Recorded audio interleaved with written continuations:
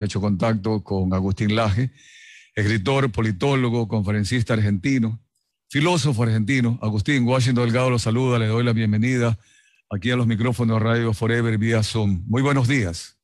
¿Qué tal, Washington? Muchas gracias por la invitación. Es un honor estar dialogando con usted. Bien, eh, gran parte del país nos escucha, inclusive a nivel internacional, por las vías de Internet. Usted ha llegado al Ecuador eh, para directar la conferencia Vive, formando voceros pro vida, o, va a venir, usted me lo va a confirmar, esta conferencia para el 20 de noviembre. Pero yo quisiera comenzar con un tema global justamente que estamos tratando, si usted se habrá enterado, la violencia que viven en las cárceles ecuatorianas, la violencia que vive Ecuador en estos días. Y claro, la pregunta filosófica es, ¿cuándo el humano le perdió el amor a la vida, el respeto a la vida ajena?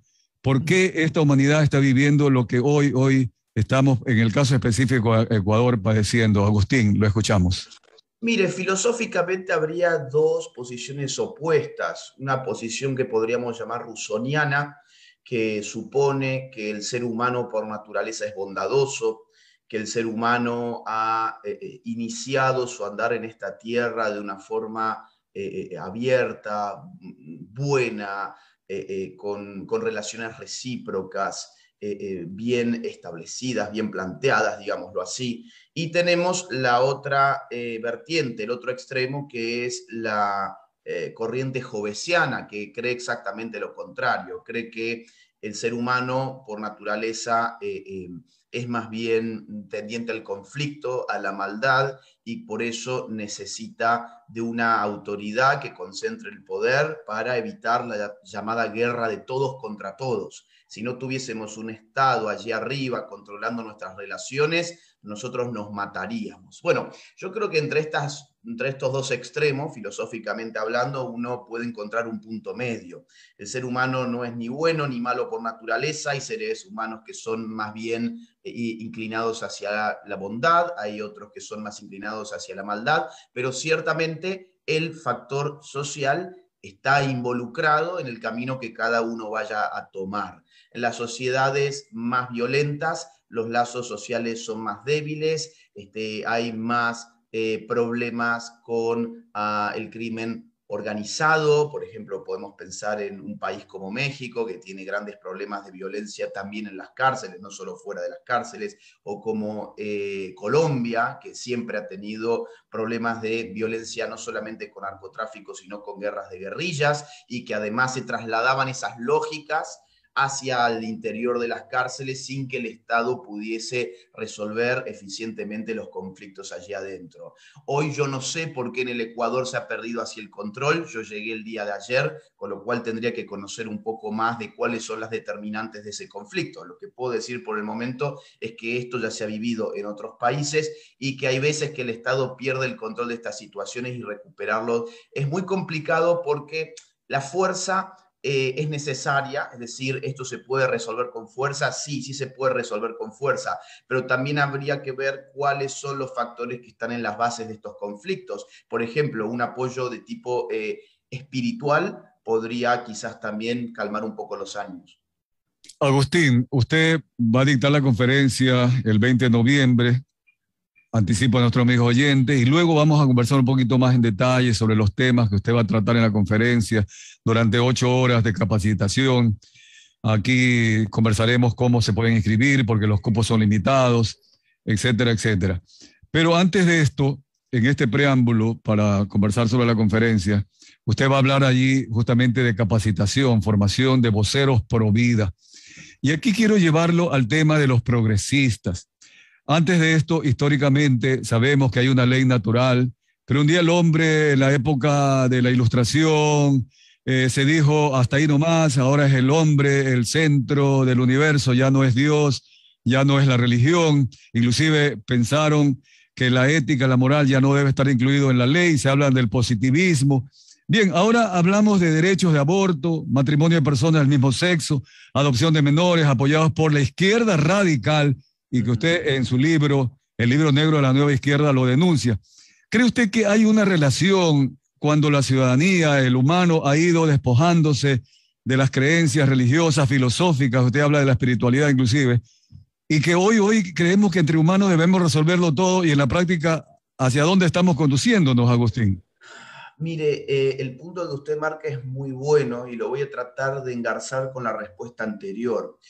Em, la guerra de todos contra todos que supone que mm, si no hay una autoridad que está allí para controlar nuestras relaciones, nosotros nos vamos a matar entre nosotros mismos, es el mundo que hoy en alguna medida estamos viviendo. Cuando uno pierde la referencia religiosa, y yo esto quiero dejarlo bien claro, no, no lo estoy hablando desde una religión en particular, sino que estoy hablando de la religión en abstracto. Cuando uno pierde esa dimensión espiritual, sobrenatural, trascendente, con una referencia a algo extramundano que está por sobre el hombre y que tiene un rol activo además sobre el hombre, uno necesita reemplazar esa vigilancia continua que ejercía Dios sobre el hombre por otro tipo de vigilancia, que es la vigilancia del hombre por el hombre. Entonces, cuando perdemos esa referencia de, un Dios que todo lo sabe, que todo lo mira y que todo lo puede juzgar en el ingreso hacia una nueva vida, pues evidentemente tendremos que desplazar ese poder enorme, ese poder enorme de ese Dios omnipotente, tenemos que desplazarlo hacia un poder cada vez más enorme de hombres que se empiezan a volver casi omnipotentes. Hoy la vigilancia sobre el ser humano ha escalado a tal punto que hoy el conocimiento sobre cada uno de nosotros a través de los sistemas que se llaman Big Data e inteligencia artificial es un conocimiento de detalle, se sabe quién es usted, se sabe quién soy yo, se sabe quién son cada una de las personas que nos están escuchando, porque somos nosotros los que estamos brindando constantemente información a través de las redes sociales. Hemos reemplazado a Dios por el Big Data, pero la vigilancia sigue allí. El problema es que la libertad era viable cuando quien vigilaba era en todo caso Dios y no un ser humano con el poder de conducir eh, estas gigantescas corporaciones eh, tecnológicas que se hacen de nuestros datos y que terminan manipulando también nuestras vidas y esto ya se sabe a partir de muchísimos estudios que se ha hecho. Voy a poner un ejemplo, Facebook.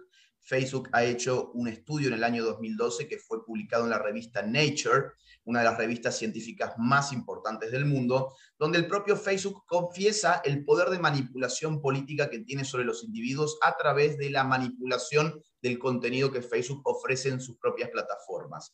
Eso está confesado desde el año 2012 en un experimento social que se hizo sobre 61 millones de personas en los Estados Unidos, a las cuales se la indujo a cambiar sus preferencias electorales a través de información que la compañía colocó en sus propias redes sociales. Entonces, la pregunta de hemos abandonado el derecho natural, sí, lo hemos abandonado. ¿Qué ha venido? El positivismo. ¿Quién hace el positivismo? ¿Quién hace la ley escrita? Pues el hombre. Ahora necesitamos no solamente que el hombre haga la ley, sino que el hombre vigile totalitariamente la ley y esa es la instancia en la cual estamos hoy.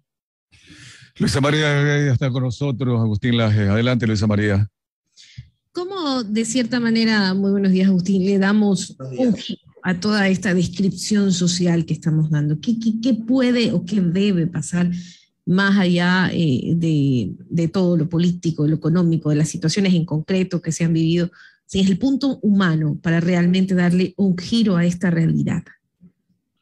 Bueno, a ver, el punto humano eh, es tomar conciencia de la alienación que se está viviendo, donde aquello que definía al hombre era en gran medida su razón y su voluntad, lo que lo distinguía del mero animal era la razón, la voluntad, y eso es lo que se está perdiendo hoy por completo. Es decir, vamos a poner un ejemplo, el mundo de las drogas. ¿Qué pierde uno en el mundo de las drogas? Bueno, uno pierde precisamente la voluntad y la razón. ¿Qué pierde uno cuando eh, entrega toda su información, entrega todo lo que es al mundo de las redes sociales para que las redes sociales, digamos, eh, eh, ya con la tecnología que se está empezando a aplicar, que es impresionante, terminen, por ejemplo, haciendo una aplicación para reemplazar a los muertos con robots digitales? Ah, sí, esto suena un poco a teoría de la conspiración, a ciencia ficción, a Star Wars. No, miren, En el año 2020, a fin del año anterior, ¿sí? 2020, Microsoft patentó una aplicación para que si tu familiar se muere, por ejemplo, vos le das acceso a esa aplicación a todas las redes sociales de la persona que ha muerto, a sus registros de mensajes, a su mail, a todo lo que él tiene como huella digital, digamos así, y Microsoft va a recrear un bot, se llaman bots a los robots, a los robots eh, hechos a, partir de código, digamos así, un bot ah, que va a poder chatear contigo ¿sí? en el nombre de la persona que ya ha muerto. Bueno, eso es una deshumanización completa, eso es una alienación completa. Vamos a poner otro tipo de caso, las industrias 4.0. ¿Qué son las industrias 4.0? Industrias que están operadas al 100% por robots. ¿sí? donde ya no existe el trabajo humano y a eso es a donde estamos siendo conducidos, a un mundo sin trabajo. Ahora, el hombre que trabajaba la tierra, que había llegado a este mundo a dignificarse con su creatividad, con su trabajo, bueno, hoy es una persona que simplemente mira las pantallas 3 horas 42 minutos en promedio en América Latina, que mira este, numerosas series todos los días, que mm, tiene desprecio incluso por su actividad laboral, que no le gusta, no le interesa, quisiera estar simplemente escuchando música todo el día, mirando películas todo el día, mirando series todo el día. Evidentemente es una situación alienante, una situación donde la vida se resume en el mero consumo de la diversión, ni siquiera en el ocio, en el mero consumo de la diversión, y una toma de conciencia humana respecto de eso creo que sería, digamos, una salida un tanto utópica, porque para tomar esa conciencia uno tiene que llevar adelante una batalla cultural sin precedentes y los mecanismos a través de los cuales uno puede llevar una batalla cultural de magnitud universal, en este caso son las redes sociales y están dirigidas política ideológicamente por sus dueños, de modo que cuando uno quiere llevar adelante contenido políticamente incorrecto, por ejemplo, en las redes sociales, sus cuentas terminan siendo censuradas e incluso retiradas del universo digital, como ha sido mi caso numerosas veces. Así que la salida es complicada, la salida yo creo que comienza por cada uno de nosotros, este, haciendo un proceso de autocrítica, de introspección y tratar de empezar a ver qué, qué rasgos de nuestra humanidad uno está empezando a perder podría llevar a pensar ¿no? que con, esa búsqueda de, del ocio, más que nada de lo, relacionado a aquello, hay felicidad, ¿no? Pero es todo lo contrario. Bueno, hay alegrías momentáneas. La felicidad es un estado permanente. La felicidad no es una alegría momentánea y eso es lo que se ha confundido en general. Este, la alegría momentánea puede ser este, eh, eh, la, eh, el final de la serie que me gustó. Ay, bueno, estuvo muy linda la serie, que qué divertido, que qué bueno. Bueno, sí, en un par de horas eh, el vacío vuelve a sentirse y uno necesita una nueva alegría momentánea para poder seguir encontrando un mínimo sentido en la vida. La felicidad es otra cosa. La felicidad tiene que ver con el despliegue de un proyecto de vida consciente, personal, dirigido, realizable, que se pueda ir manifestando en sus realizaciones particulares todos los días. Un proyecto que no sea simplemente, supongo yo, económico, sino también familiar, afectivo, relacional, un compromiso con la comunidad. Bueno, todas esas cosas que hoy parecen tan anticuadas, ¿no? Bien, ahora hay algo que quisiera agregar, eh, Agustín, dentro de esta conversación, dentro de este análisis. Eh, conozco que en México se está trabajando un proyecto a favor de la mujer embarazada en situación vulnerable, precisamente para proteger la vida desde el embarazo. Pero esto son acciones que inclusive un gran ah, artista, Eduardo Verastegui, creo que es el, ¿verdad? Y creo que usted acaba de estar en esas conferencias. Pregunto, un país como México, por ejemplo, en el caso ecuatoriano afecta mucho porque se habla de que los narcotraficantes, esas grandes carteles, estarían relacionados con la incursión aérea aquí en el Ecuador, la compra de droga que viene de Colombia, viene de Perú, también Ecuador ahora produce. Ellos son los que están dominando estos cárteles, las cárceles ecuatorianas, están dominando el microtráfico en las ciudadelas, en los barrios, etc. Eh, México podrá en algún momento escuchar estas voces del apoyo a la vida para de alguna forma reactivar un, país que fue tan católico, tan cristiano tradicionalmente y que está hoy día sumido en la violencia?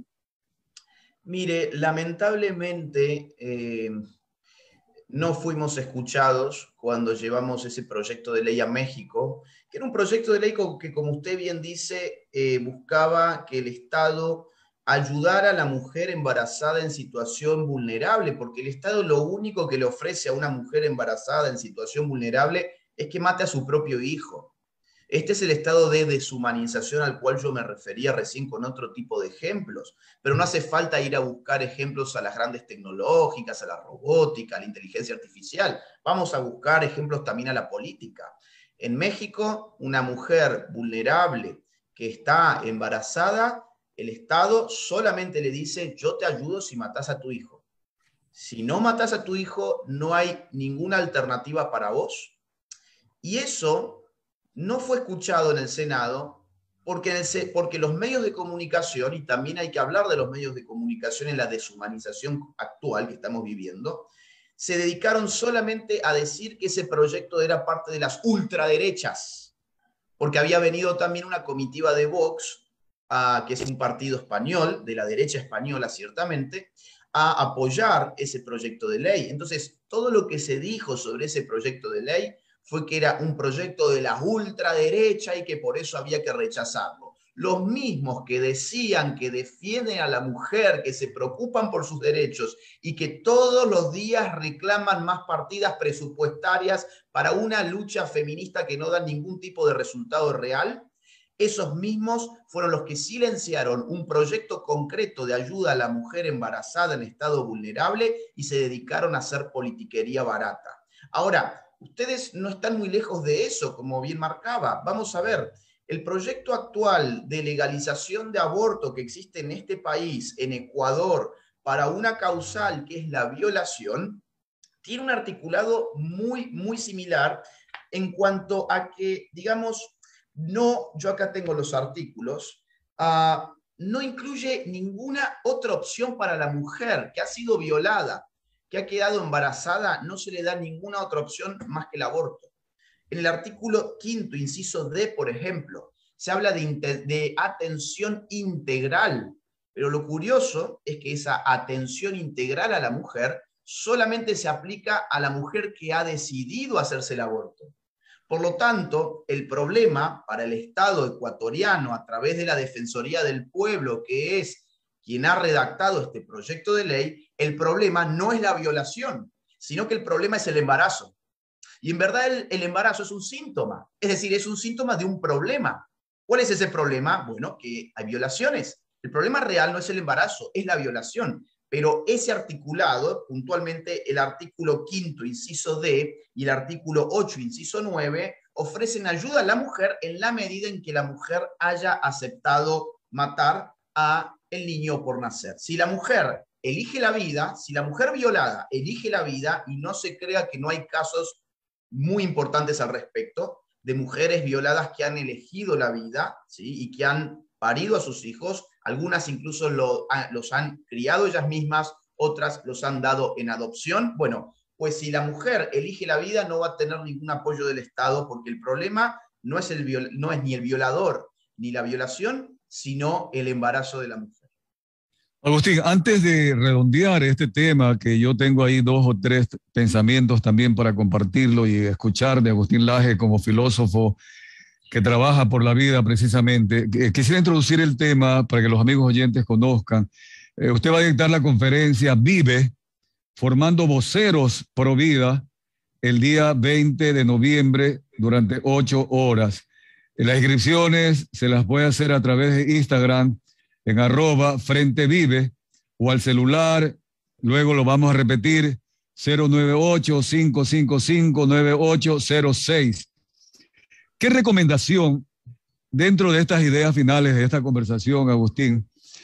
Porque a la larga los padres de familia que nos están escuchando, los jóvenes que nos están escuchando, porque a mí realmente me llena de motivación, me ilusiona cuando también opinan ellos dentro de las redes sociales a favor de la humanización de recuperar precisamente el amor más que, y la vida misma más que el odio y la muerte. Pero cuando vemos que los progresistas, además también se han tomado medios de comunicación internacionales, las redes sociales, los gobiernos inclusive de países occidentales como Canadá, varios de Europa, entidades que financian a grupos que promueven precisamente la violencia, promueven el aborto, etcétera, etcétera. Pregunto ahí, ¿es incontenible esto y nada más el padre de familia deberá decir, esposa o la esposa al esposo, hijos míos, vamos a formar nuestro núcleo familiar, a pesar de que las, las leyes, que el, hombre es el lobo del hombre, para vivir una vida aislada también? ¿Cómo, cómo ver esto? Ya preguntaba algo Luisa María, ¿cómo solucionarlo? ¿Es incontenible ese avance progresista, Agustín? Mire, yo creo que al corto plazo vamos a recibir muchas cachetadas. Sí, yo quiero ser franco con esto. Al corto plazo vamos a recibir muchas cachetadas, vamos a tener muchas derrotas en muchos países por un sencillo motivo, es que ellos han comenzado con esta agenda desde hace muchos años y nosotros hemos empezado a combatir esa agenda desde hace pocos años. Además existe otro motivo que es muy importante de entender y es que las verdaderas causas de esta agenda no son los derechos de las mujeres, los derechos en clave de ideología de género, los derechos trans, la banderita multicolor, el feminismo con la supuesta emancipación de la mujer, que está muy dispuesto a cancelar a Blancanieves, pero que no dice nada de las canciones de Bad Bunny, por ejemplo. No, no, no. Eh, eh, em, eso es el humo que venden los medios de comunicación, que venden los políticos. Ese no es el verdadero motivo. El verdadero motivo es que aquí hay una agenda internacional que ha sido diagramada desde hace ya muchas décadas y que ha establecido la necesidad de reducir la natalidad en el mundo. ¿Cuál es el punto real de toda esta agenda que estamos viviendo? La necesidad de reducir la natalidad en el mundo. ¿Esto es una teoría de la conspiración? No, no es una teoría de la conspiración, surge de documentos públicos, desde el informe Kissinger del año 1974, donde se establece la urgencia para Estados Unidos de reducir la natalidad, incluso a través del aborto, en los países del llamado tercer mundo, hasta la conferencia internacional del año 1994 en el Cairo sobre población de Naciones Unidas, donde se establece la necesidad de legalizar el aborto máximo hasta el año 2015. A más tardar al año 2015 hay que legalizar todos los servicios de salud sexual y reproductiva, incluyendo el aborto, si esto dice Naciones Unidas en su conferencia sobre población del año en 1994, lo repite en la Conferencia Internacional de la Mujer del año 1995 y lo repite hoy en día en cuatro o cinco objetivos de los 17 objetivos de la Agenda 2030, que es la Agenda de Naciones Unidas para el año 2030. O sea, si ustedes pensaban que esto era una militancia de pañuelos verdes que habían empezado desde abajo a intentar reivindicar los derechos a decidir sobre el propio cuerpo, bueno, olvídense de todo eso. Lo que hay acá es una cosa totalmente distinta. Nuestros estados hoy están virtualmente obligados por Naciones Unidas a legalizar el aborto, no por una cuestión de derechos, sino por una cuestión demográfica demográfica, que si la cruzamos con lo que anteriormente dije sobre el empleo humano, que nos estamos eh, encaminando hacia un mundo prácticamente sin empleo humano, pues entonces, ¿qué hacemos con tantos miles de millones de personas que ni siquiera tienen empleo? Si eso lo cruzamos con lo que pasa en el Foro Económico Mundial, el famoso Foro de Davos, donde ya están pidiendo también salario básico universal, están pidiendo además reducción de consumo y están, por lo tanto, pidiendo también reducción de población, tenemos una ecuación muy clara para todos, ¿sí? Ok, esos son los verdaderos, las verdaderas causas. Todo lo demás es consumo para eh, para las personas a las cuales las han tomado de tontas, digamos así, ¿sí? No quiero ofender a nadie. Bien, ahora, ¿cómo uno puede, cómo uno puede enfrentar esto? Bueno, yo no minimizaría lo que usted dijo recién del padre de familia que se encarga de educar a sus hijos, que se encarga de hacerles saber la verdad de todos estos temas. ¿Por qué no lo minimizaría? Porque al corto plazo podemos recibir muchas cachetadas, como dije pero al mediano y largo plazo, cuando esos niños de nuevas generaciones sean los que empiecen a reemplazar las generaciones actuales en el poder, pues la cosa puede cambiar. La, clave acá a entender es que en general nuestros adversarios no tienen hijos, porque los abortan, porque son militantes de ideologías de género LGBT que por definición son infértiles, ¿sí? porque abrazan feminismos radicales que han presupuesto que el hombre y la mujer son enemigos a muerte, por lo tanto no generan familias unidas, no generan familias con muchos hijos. Ahora, ¿dónde si hay hijos, hay familias unidas? Bueno, del lado que está siendo atacado. Si el lado que está siendo atacado comprende eso, puede comprender a continuación por qué hay tanta desesperación por quitarle a los padres de familia el derecho humano a elegir la educación de sus hijos. ¿Por qué están tan desesperados estos sectores por ser ellos los que eduquen a tus hijos? La respuesta es muy simple, porque ellos no tienen hijos y saben que al mediano o largo plazo, si ellos no se encargan de formatear, si de adoctrinar a las nuevas generaciones, esas nuevas generaciones pueden terminar removiéndolos del poder. ¿Qué podemos hacer nosotros? Empezar por casa es una muy buena idea, pero también empezar a comprometerse con las organizaciones de la vida social y civil y con la política. Todos estos cambios se generan a través de la política y se pueden frenar a través de la política. Así que esas son las tres vías, familia, sociedad civil y sociedad política. Sí, y en la práctica, Agustín, para concluir, eh, tú mencionaste la parte de la industria 4.0 ya se está hablando de la industria 5.0, que es cuando las máquinas se van a ordenar entre ellos, ¿no? Y claro, el humano, pues no sé si la seguirá programando, pero e, es a lo que se viene, y sin embargo los valores, y más allá inclusive de los valores morales mismos, los valores éticos, éticos de la politiquería, se han ido perdiendo, y es el mundo que hoy estamos enfrentando. Carlos Gramsci lo dijo un día como ideólogo comunista, marxista en Italia, que hay que apoderarse de la cultura y en la gran práctica lo ha hecho el Foro de Sao Paulo, también en México, sus declaraciones. Esta es la realidad, pero tú tienes, bueno, Agustín, me alegro mucho compartir estas esperanzas con esta conferencia. Eh, los ciudadanos que nos están escuchando, los padres de familia, etcétera, etcétera, eh, si quieres repetir cómo escribirse para poder participar en este diálogo, conferencia que dictarás el día noviembre 20, Agustín. Con mucho gusto. Y, le agrego algo sobre lo que usted dijo de la industria 5.0. En el año 2017, Facebook tuvo que apagar una maquinaria muy específica en la que estaba trabajando porque empezó a crear lenguaje propio y a comunicarse con lenguaje propio con otras máquinas. Un lenguaje inentendible para los humanos que estaban trabajando en Facebook, se asustaron y tuvieron que apagarlo. El problema será el día que no se asusten. ¿Dónde voy a estar?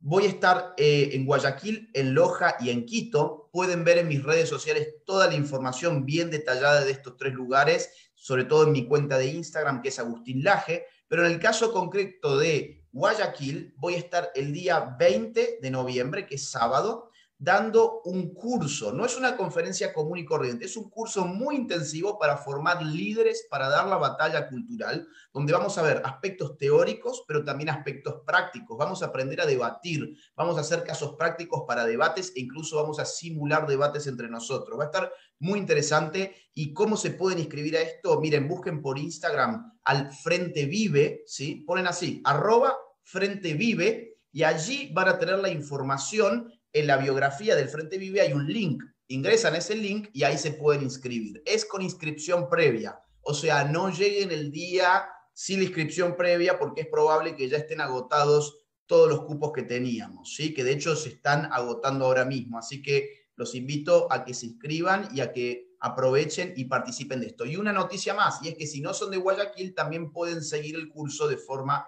online. ¿sí? Bien, eso es una buena noticia, ¿verdad? Para las personas que hoy manejan y la tecnología hay que utilizarla para el bien también en el caso Así del es. como lo hemos hecho el día de hoy. Hemos conversado con el filósofo argentino Agustín Laje, escritor, conferencista, máster en filosofía de la Universidad de Navarra, España, y fundador y presidente de la Fundación Libre. Palabras finales, Agustín, para cerrar este interesante diálogo. Bueno, yo tengo esperanzas porque ya nuestras sociedades a lo largo de toda América Latina, donde yo he girado incesantemente eh, desde el año 2016, he pasado prácticamente por todos los países y veo que cada vez los que defendemos la vida, la familia, las libertades individuales, eh, cada vez somos más y cada vez hay una generación joven más fortificada, más lanzada al combate cultural. Así que yo tengo esperanzas. De hecho, quienes me invitan esta vez, que es el Frente Vive, es una organización compuesta y organizada por jóvenes. Así que hay que tener esperanza, saber que vamos a recibir unas buenas cachetadas, pero no caer al piso ni rendirse. Hay que seguir combatiendo porque los resultados por los cuales nosotros estamos peleando valen la pena. Un abrazo, Agustín. Un abrazo grande, muchas gracias. Seguimos adelante, muchas gracias.